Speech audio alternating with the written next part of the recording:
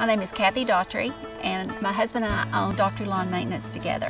We were newly married, we had just built a new house, and we needed extra income. So I had a little push mower and a weed eater, and doing that on the side, started getting some more accounts, and you know, finally got a 48 inch grasshopper.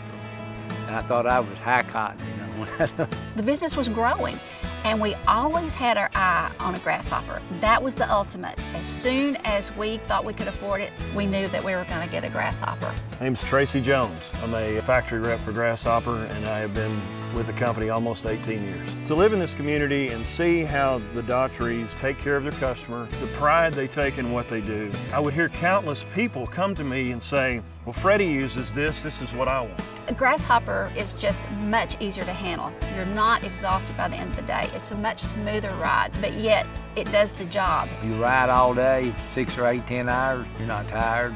They're easy to work on, less grease fittings. That means less maintenance, less downtime, so the machine can last longer.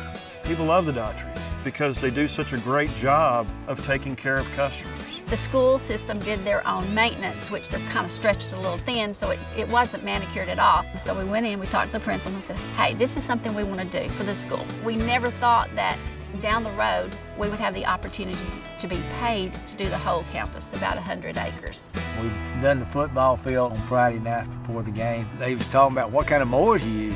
So we use grasshoppers man, they look so great. That means a lot, you know, made it kind of swell up with a lot of pride. Grasshopper's just part of our business. It has been from day one, and it'll continue to be.